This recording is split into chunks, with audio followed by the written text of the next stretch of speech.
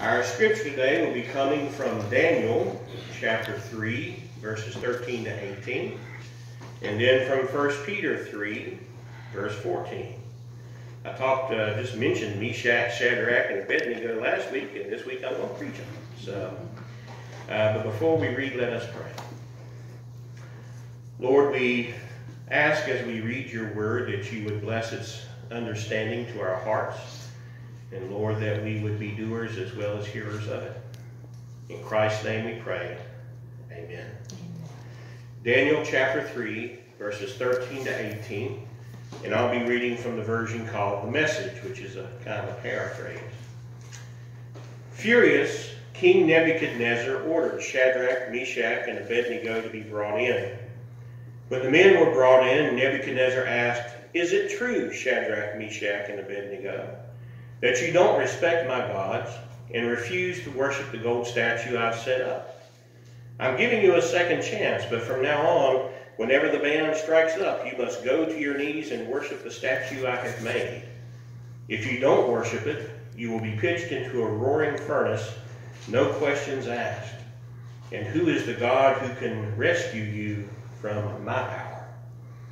Shadrach, Meshach, and Abednego answered the king Nebuchadnezzar, Your threat means nothing to us. If you throw us in the fire, the God we serve can rescue us from your roaring furnace or from anything else you might cook up, O king. But even if he doesn't, it wouldn't make a bit of difference. We still wouldn't serve your gods or worship the golden statue you have set up. And then from 1 Peter 3, verse 14, But even if you do suffer for doing what is right, you are blessed. Do not fear what they fear, and do not be intimidated. This is the word of the Lord. Thanks be unto God. There were three generals at a NATO troop exercise watching their troops, and they were bragging on how brave their troops were. And so the American commander said, well, I'll show you how brave our troops are. And he called a soldier over and said, Soldier, I want you to run to the top of this three story building and jump off saluting and singing the national anthem. So the soldier did it without a second thought, ran, ran up the building, jumped off the building, saluting. And the German soldier, the German general said, well, yes, that's very brave, but let me show you what bravery really is. So he called one of his soldiers over and ordered him to fill his pockets full of rocks till he could barely walk. And he said, then I want you to go swim across that big river and sing the German national anthem as you go. So without a second thought, the German did that. He loaded his pockets with rocks and the last anybody saw of him before the bubbles came up was him swinging and swimming across and, and singing. The British commander said, well, yes, those are very brave, but let me show you true bravery. So he called forward a British soldier, and he said, I want you to go jump off this cliff over here. He said, it's almost certain death. There are jagged rocks at the bottom of it. But I want you to jump off saluting and singing God Save the Queen. And the British soldier looked at him and said, Are you crazy? If you want to do that, Go jump off it yourself, you old bird. and the general looked at the other generals and said, Now that's bravery. it was actually something in the old British Army they used to do. Whenever somebody needed uh, some sort of punishment, they would send them to the sergeant major, who was a fierce person that no one wanted to cross. They would send them to the sergeant major with orders to insult him. And so they had to go and insult the sergeant major, who would then put them through all sorts of punishments for whatever. So uh, that's bravery, I guess. But uh, we'll be talking about bravery a little bit today with Meshach, Shadrach, and Abednego. There's a saying that says that the opposite of bravery is not cowardice, but conformity. And I guess in many ways that is true. If you look at the Third Reich, you could not call the average German a coward but they were not brave in the sense that they didn't stand up to what was evil. They merely conformed to the system, even though many of them knew that it was evil. The truly brave in that sort of situation were folks like Sophie Scholl and her brother, uh, who were Christians who stood up against the regime and uh, who lost their lives in doing so. In today's passage, uh, which happens after the, the exile of the Jewish people, the Babylonians, if you remember, when they defeated the Israelites, exiled the Jewish people, the bulk of them, all across their empire, put little pockets of them here and there, scattered them out among the pagan peoples of their empire, hoping that they would lose their Jewishness and assimilate into being Babylonians. But they took the best and the brightest, particularly of the young people wanting to use their skills for themselves. And they brought them to the capital and changed their names to Babylonian names, trained them up in uh, their own ways of using things, gave them cushy jobs, hoping that they too would assimilate and become good Babylonians. In this passage, we meet three young men who uh, had been Hebrews, and their real names were Hananiah, Mishael, and Azariah. Each of these names in Hebrew honors, of course, the Hebrew God, God of Israel. But they had their names changed by the Babylonians to Meshach, Shadrach, and Abednego, names which honored the pagan gods of Babylon. And then they put them to work in their system. And since they proved to be wiser and smarter than the native Chaldean wise men, they were placed in high positions directly in service of the king. So much so that the king even knew them on a first name basis. And this made the Chaldeans jealous, as we'll see in a minute. Meshach, Shadrach, and Abednego did their jobs really well, uh, as long as it didn't impinge on their beliefs, because they still followed the one true God of Israel and lived according to his word.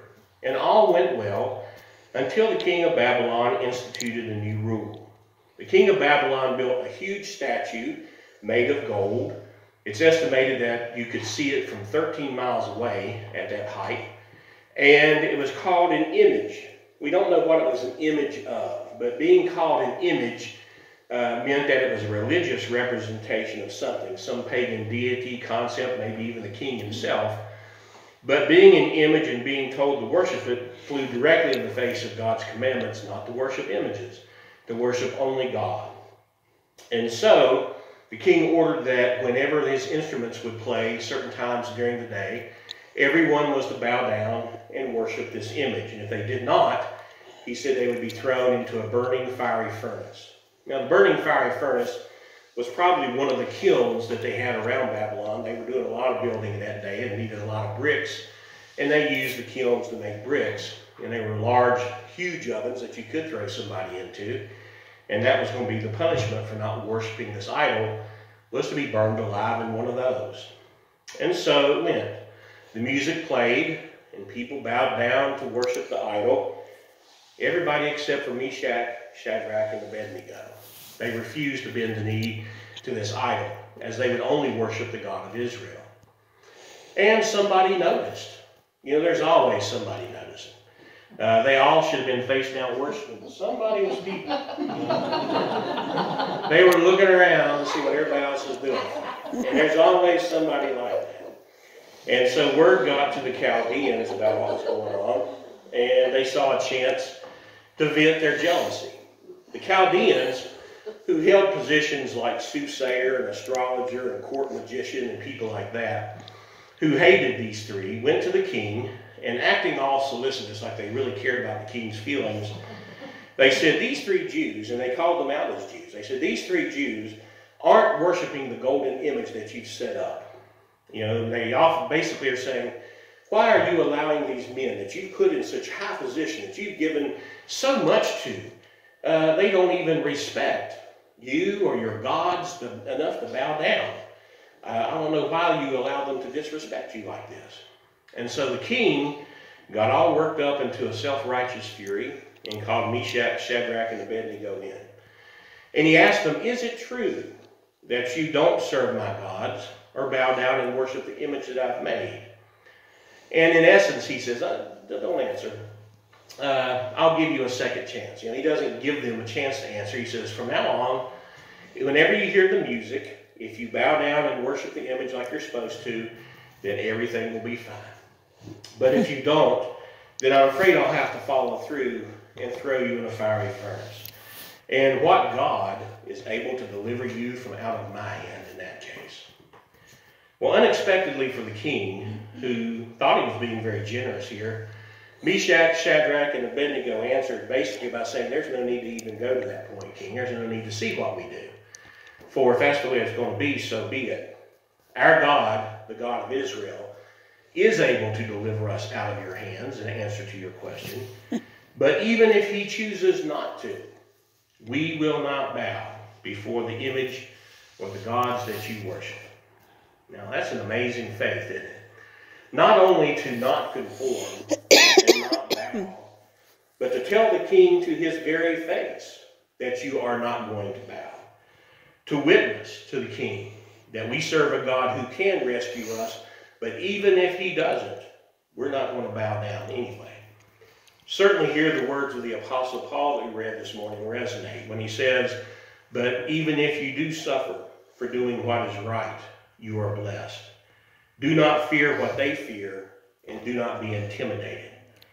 Well, Meshach, Shadrach, and Abednego did not fear what everyone else around them feared, and they were not intimidated. They did not fear the king or his power or his threats. They did not fear bucking the crowd and being different and not conforming. They didn't even fear the greatest possible difficulty, which would be their imminent death. And they were not intimidated like everyone else around them by any threats, no matter how extreme or realistic they may have been. They stood up for what was right despite the possible cost.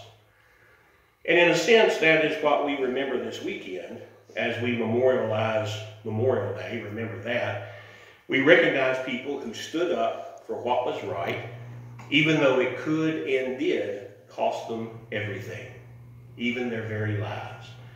And most of these men and women that we remember, if they could speak to us from the grave, they would say more than likely what their still living comrades say when they're asked about it. No, we're not heroes. We're not heroines. We were just doing our duty. But that's the extraordinariness of it, isn't it? Ordinary people doing extraordinary things by doing what is right, regardless of what the cost may be. And so may God bless their memories among us. There's an old saying that says that a hero is somebody who is braver than everybody else for just a moment longer. And you know that's true. Uh, a hero is not somebody who is totally without fear. Somebody who is completely fearless is crazy because it is normal for a human to feel fear. In fact, uh, my brother was a military psychiatrist. A military psychiatrist will not let somebody who is fearless anywhere near a battle line because they are a danger to themselves and everyone else. They are truly crazy. It is human to feel fear. And so being brave means to do what is right despite the fear. And we have a great many opportunities in our lives to be brave, from both the very simple all the way to the sublime. Instead of going along and doing what everyone else does, swallowing our morals, getting along to get along with our heads down, we have opportunities aplenty to stand up and do what is right. The question is, do we take those opportunities? In our Bible study the other evening, we were studying the passage about Deborah, who was a judge and prophetess of Israel, and she called the tribes of Israel to defend themselves. but not all the tribes came. Some didn't answer the question at all, and others, like Reuben, it was said, had great resolve in their hearts. They worried in their hearts about it. And they were like those folks that stand around when something right needs to be done and say, Yeah, you know, that's right. You're right. And they're behind you all the way. They're way behind you when the time comes. And that's what Reuben did. They didn't go. They had it in their heart they wanted to go, but they didn't go. And so to speak what is true and what is right is necessary and good, but it has to be followed by action, standing up and doing what is right. Otherwise, they're just empty words, like Reuben's faithless heart. Like Meshach, Shadrach, and Abednego, we know that our God is able to deliver us. He can deliver us, and no doubt in our lives we can look back and see where He has.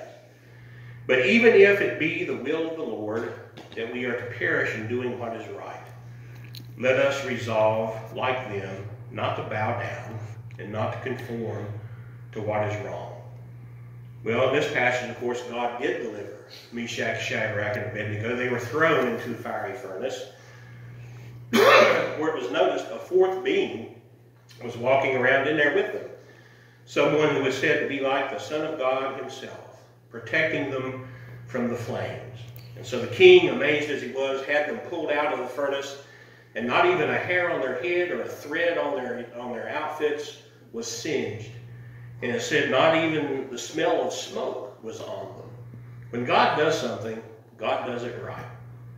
We live in a world that demands that we conform. It wants us to respond to the names it gives to us and forces us to bow. And if we do that, the world tells us all will be okay.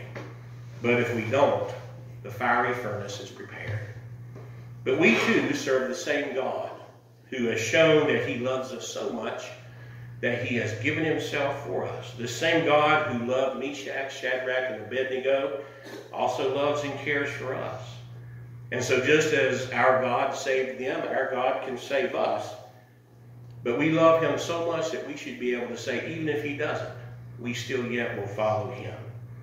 And that is whatever his purpose may be for us. We will stand and not bow to the idols of the age. Let's not forget Meshach, Shadrach, and Abednego, who never forgot their God, and whose God did not forget them.